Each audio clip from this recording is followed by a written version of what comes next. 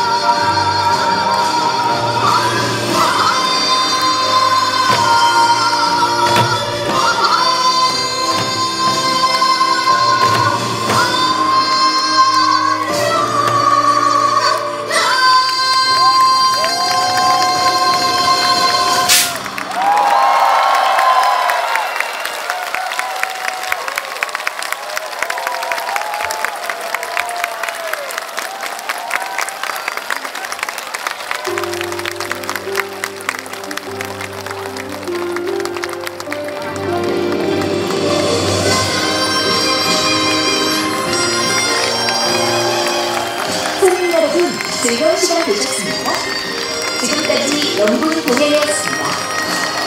관람해주신 손님 여러분들께 감사의 말씀드리며 남은 시간도 한국 민속촌에서 즐거운 시간 보내시길 바랍니다. 대단히 감사합니다.